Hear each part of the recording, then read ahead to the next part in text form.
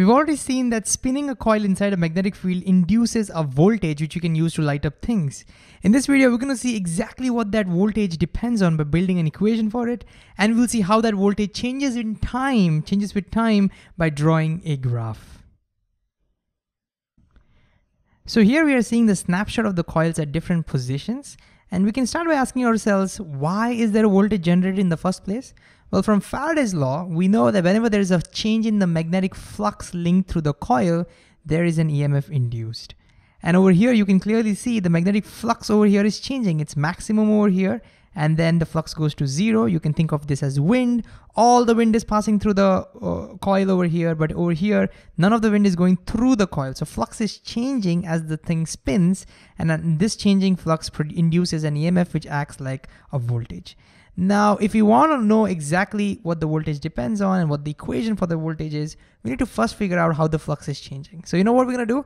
We're gonna first plot a graph of the flux and see how it changes with time. Yay, so let me plot a couple of axes.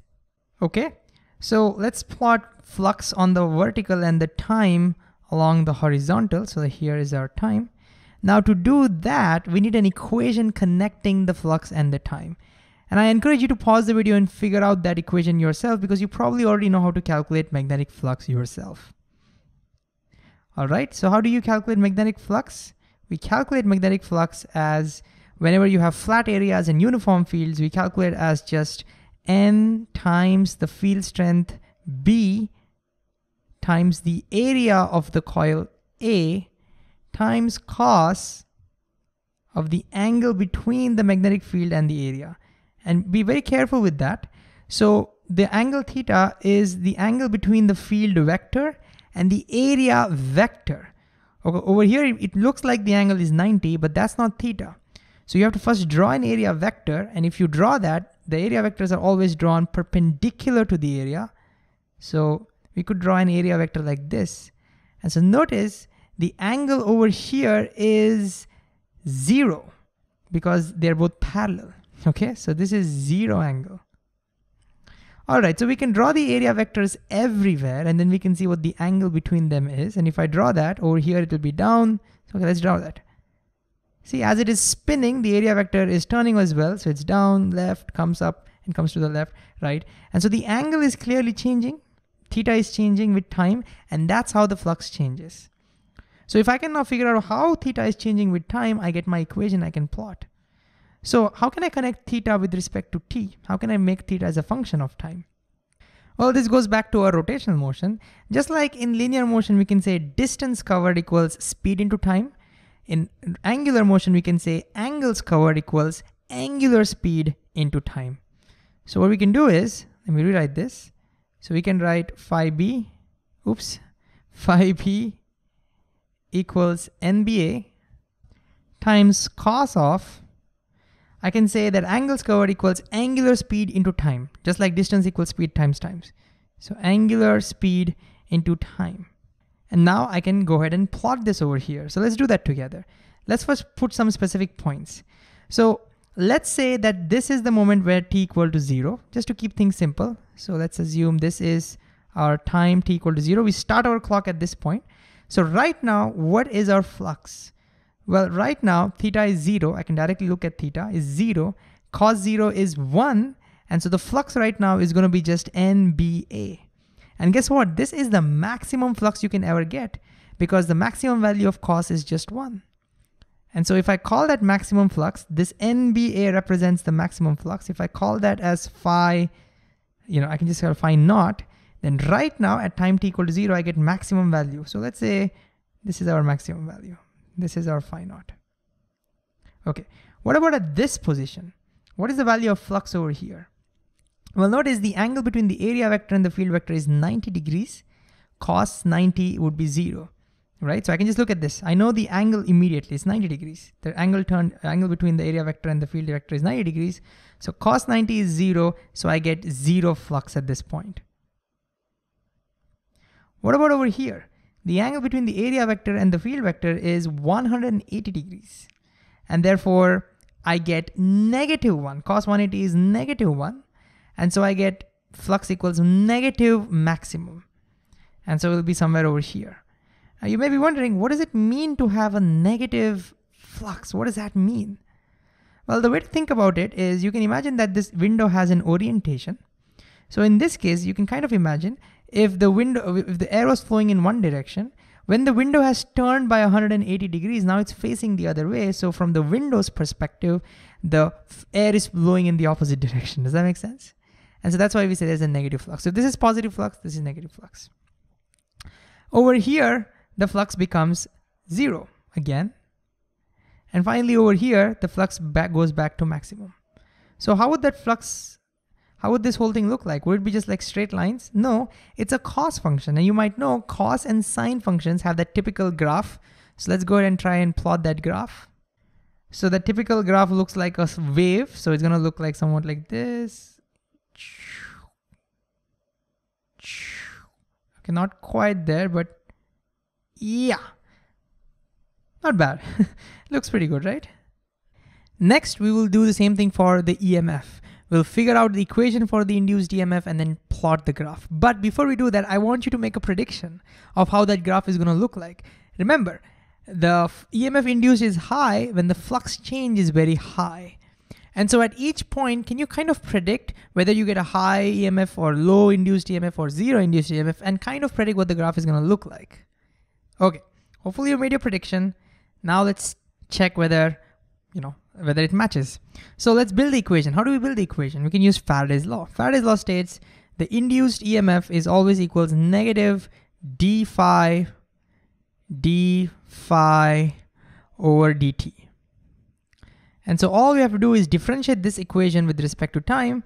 And again, I encourage you to try and do this yourself. So let's do this. So the induced EMF will be negative. What's the differentiation of this term? Well, N, B, A are all constants. We can pull them out. So you get N, B, A over here. And then you get differentiation of cos omega t. Differentiation of cos is negative sine. So minus sine omega t. And then you have to use a chain rule. Then multiply by differentiation of omega t, which gives you an omega. So an omega pops out. And so if you put it all together, we now get EMF equals negative negative cancels. So I get NBA, NB times A times omega times sine of omega t, which is basically the angle. And there we go. This is the expression for the EMF.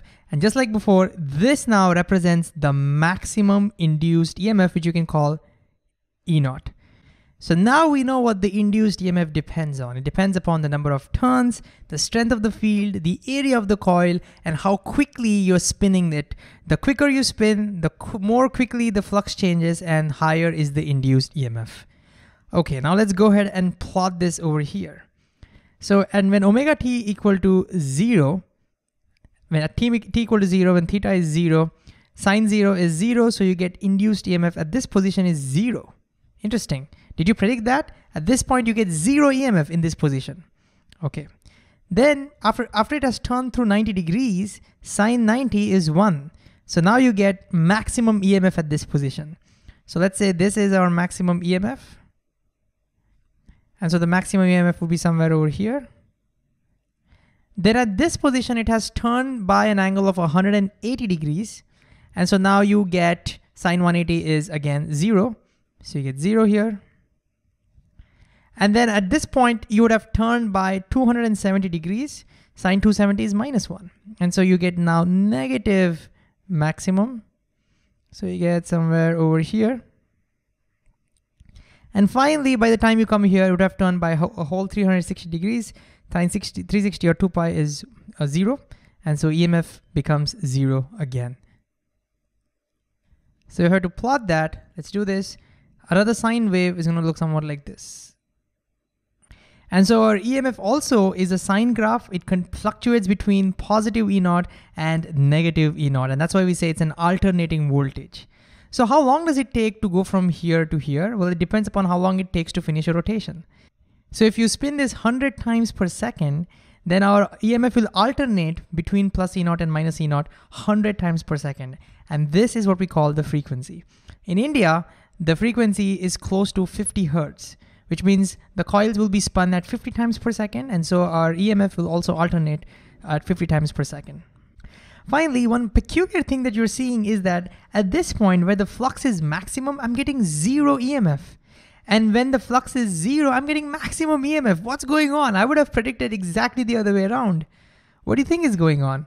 Well, Faraday reminds us, I don't care about flux, I care about the flux change, okay? So at this point, if you consider this like, if you consider this as a mountain, then the height represents the flux. Faraday is saying, I don't care about the height. Tell me how quickly the height is changing. So imagine you're standing somewhere over here. How steep is this? It's not very steep, it's, it's very flat, isn't it? So the slope over here is zero. You, you put one step forward, you don't immediately fall down. It looks very flat to you. And therefore, the flux is not changing very quickly at this point. Slope is zero, and that's why the EMF at this point is zero. Okay, what about this point? At this point, although the flux is zero, if you stand over here, notice it's very steep, very, very steep. You put one step forward and you go immediately down. So clearly there's a very high negative slope over here. And that's why we're getting a very high positive EMF induced. Why? Because of the minus sign, Lenz's law. If the flux is changing, if the flux is decreasing, EMF is trying to increase the flux and you're getting a positive EMF. Ooh, it's all trying to make sense. Same thing happens over here. At this point, you have a very high negative flux, but look at the change. It's nothing. You can stand here easily. There's no slope. You put one step forward, hardly there is any change in the height. And therefore, EMF induced is zero. And the same thing over here. If you stand over here, ooh, look at the slope, very high. You know, it's a very steep thing. You put one step forward, you go high tremendously.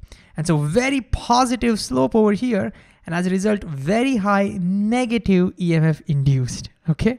So hopefully this makes a lot of sense. And the same thing continues over here. You get zero slope, and so you get zero EMF.